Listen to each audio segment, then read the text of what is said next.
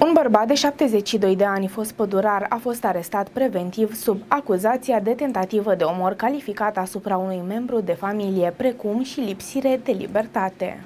Conform mesajul.ro, victima acestuia este chiar soția sa cu care se află în proces de divorț, de care bărbatul este acuzat că a electrocutat-o ore în șir cu un cablu, ținând-o imobilizată în propria locuință. Fapta a fost comisă în noaptea de 17 iulie, chiar victima fiind cea care a cerut ajutorul oamenilor legii, într-un moment în care soțul său ieșise în curte să bea apă. Din ce s-a stabilit până în acest moment, bărbatul a pătruns în camera soției sale, în timp ce aceasta dormea, și a introdus un cablu electric în priză, iar capetele neizolate date, i le-a aplicat acestea pe corp. Ulterior, în încercarea de a scăpa de consecințe, bărbatul a băut erbicid, fiind internat câteva zile la secția de psihiatrie. Între timp, ancheta a continuat, iar luni după ce bărbatul a fost externat, procurorii au luat decizia de a solicita arestarea preventivă admisă de instanță. La audier, bărbatul a recunoscut fapta, motivând că și-a pierdut cumpătul într-un moment de furie, deoarece fosta sa soție îl evacuase din locuință. De altfel, în timpul cât inculpatul era la psihiatrie, femeia a obținut în instanță și un ordin de protecție la solicitarea procurorilor. Potrivit acestuia, Vrânceanul nu mai are voie să se apropie de domiciliul soției și trebuie să păstreze o distanță de 150 de metri față de aceasta timp de șase luni, relatează mesajul.ro.